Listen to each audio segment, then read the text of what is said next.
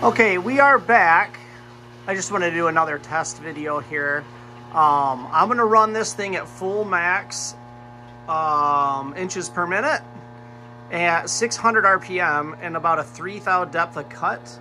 So I want to show you how clean this will cut, but the surface finish is not going to be adequate. So um, that's what I'm doing. I have the machine set up now. I just I just set my Z height.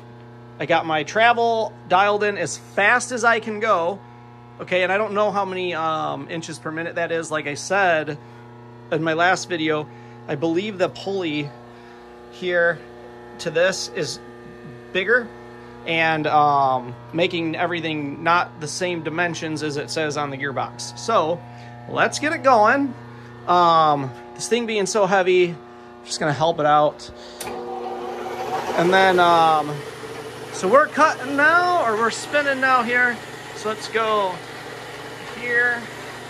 And then if I go like this, we should be chipping.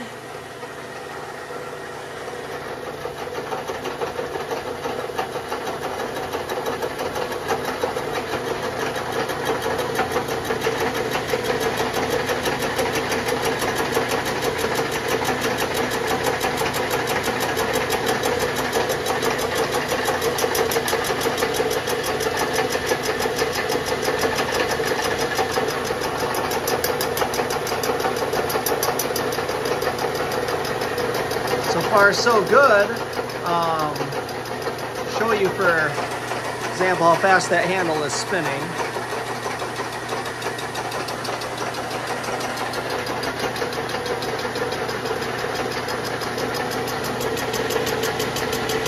You can really see that finish.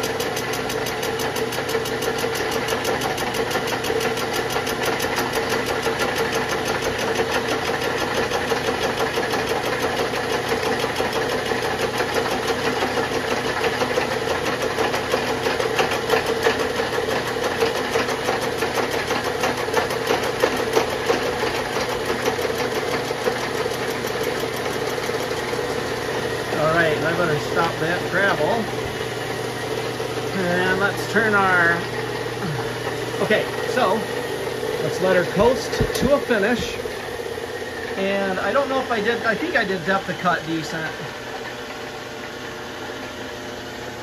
Sorry for zooming in so darn much. All right. I hate to waste the brake on my mill, but there we go why not? We got to speed this up for YouTube. Okay, so let's turn off the phase converter so you guys can actually hear me. now, this is a terrible finish, but you can tell that it's really reflective. See the camera shiny right in here? See how shiny we got?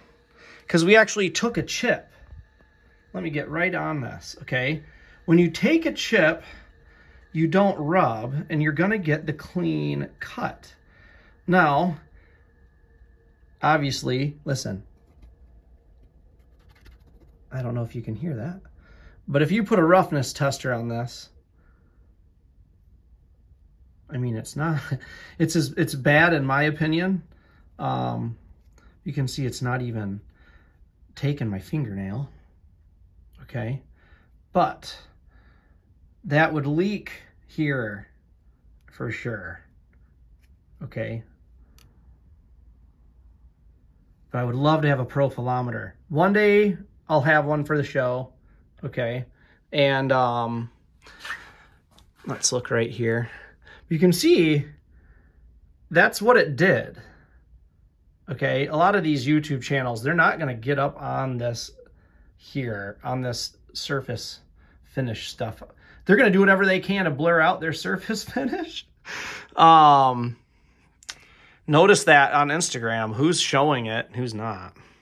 But you have to have a pretty high-tech machine to be doing this, guys. Like, we found out a bunch when, when we developed this. One, you almost have to have five axis to be doing this because you need this tilted, okay? Now, boring and decking machines of the 80s and 90s and whatnot, it's built in here to the holder of the fly cutter, but the spindle stays straight to my knowledge. I've been studying this, and that's what it seemed to me. Uh, like on a Berco machine, I'm gonna actually have to just call them before I. I'm just gonna you put in the comments, but I'm gonna call them and I'll make that the, pretty much the next video on what's going on. But you want, okay, for instance, if I cut perfectly flat spindle to, okay, backside's gonna drag.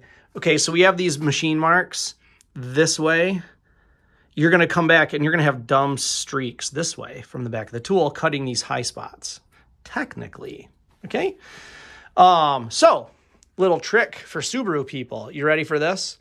We're gonna do it like this. I'm gonna drop my table on. Subaru people can rejoice in the cnc world when they buy the 14 inch because you're gonna feed like this.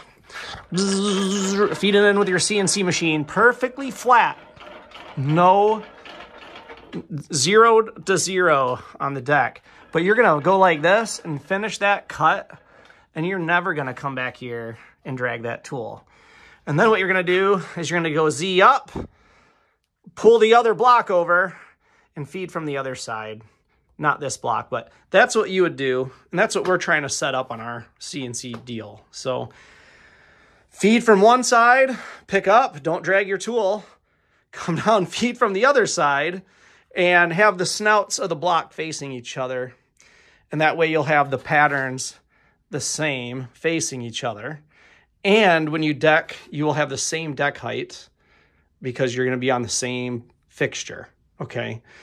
That's what we're trying to do in the Subaru game is exact same deck heights, square to each other. So you don't have timing belt walk. Okay. And, and there's a lot of ways you can look at it. Do you square off of the bell housing? Do you square off of here? Do you square off the crankshaft center line and deal with twisting and indicating it into what? So you have some some special dowel pin locating things on Subarus. Okay. Um, that we can use, but uh, we'll get into all that later. I just wanted to show you guys this. Like that's full speed. It's shiny, but I want to get a profilometer on this. Um, I would say Wow, look what it did to that. That pin started moving. We've been hammering it so much, but it did not like that. Let's pull this out. Let's see here. Oh, I can get it out. Bingo. One of our, that's not the pins we use now. This pin I made in, uh, out of just stuff on the lathe. Now I'm thinking of tack welding them before I do this. So something like that can't ever happen. But yeah, that's what we were testing on this is how well, you know, do we want to press this or do we want it barely pressed or do we want to loose it? Lo like in, non-interference fit and then tack weld. Um, I don't know if I can tack weld in that corner in there. I'm zoomed in all the way. I can't go anymore, but I don't know. It could distort the block is what we thought when it got hot. So Right now, they seem to be good with just a half a thou press, so there's hardly any, and they really stick in there. So, anyways, that is the test on the Performance CBN 14-inch fly cutter. We don't really have a name for it. I'm thinking about calling it the Beast, because she's a beast. Okay, now we have them in aluminum, okay, if you want the Beast light, or if you want a 12-inch, you know, that can fit in your tool changer that doesn't weigh a ton. Um, 12 inch, and then we have all the shank adapters. So, and they're not as expensive as you thought, uh, think. We were, um, assuming they could be in the four to five hundred dollars to custom adapt these. But dad being an engineer figured out how to do it with the shell mill adapter and they're around 100 to 150. So that's not a big deal. This is around $900. Um, but they go lower when you get the aluminum ones, 12 inch. This is just the most expensive one. And then the cartridges, these are around $100, okay? Um, we stock those. And then the inserts can be anywhere from 150 to uh, 180. I'll put links in the description to all this stuff. We, we This is hot off the press for us. Um, and that's why I'm showing it. And I got to get off the the freaking YouTube right now and go run this to the engineering company who's actually going to use it. This is, like I said, I'm not running this in my shop here. I just happen to have it. for a minute, and I we bought this for the lightweight 12 inch we might have on this machine. I'm going to try the 12 inch next, obviously.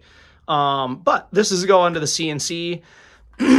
um, yeah, so play with it while I have it is the situation.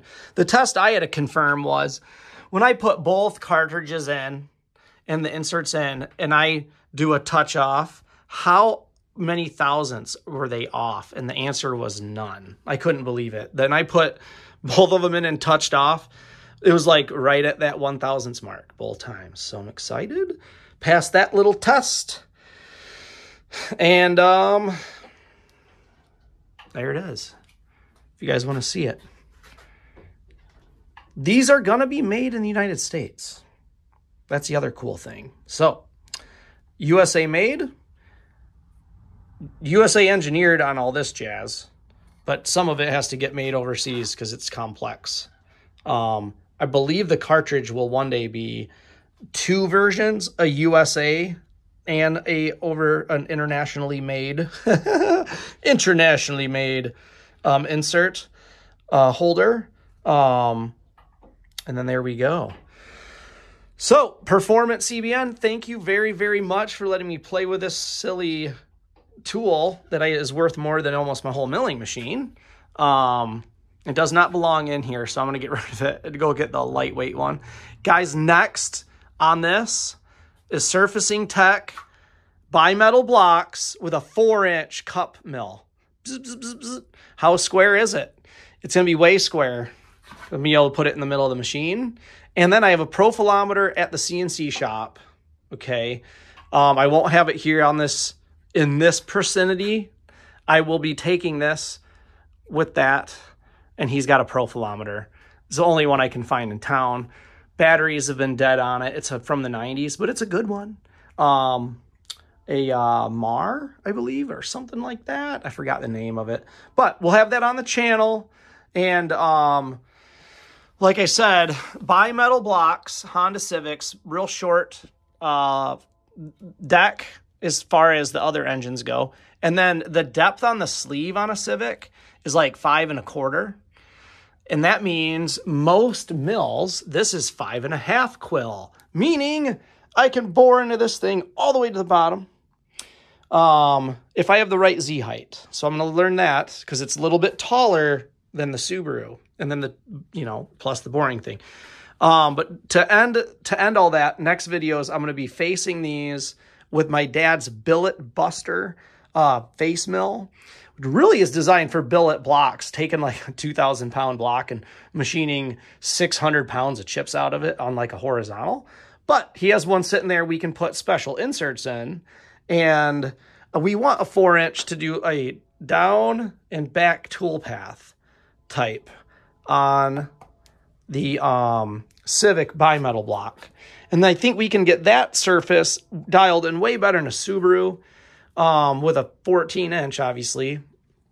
And then they don't have as bad a head gasket issues with the oil drain here always on its side these things are a little bit more forgiving. So I want to see how fl- how flat end to end, you know what I'm reading in the middle, and see if how much of a dome we have on my machine in a Civic with a little four inch. And then I think if we're under one thousandths, I'm going to be what I'll consider myself like this is pretty good to spec, you know, one thousandths. I'd love to be dead nuts, but it's you know, on this we can always do this. So. Anyway, talk to you guys soon. Thank you very much for watching and putting up with my long blabbering here today. So, subscribe. You will see the CNC stuff next um, very, very shortly. So, thank you very much, guys. I'll talk to you soon. Bye-bye. My hand is sweating and it's not letting me turn it off. Hmm.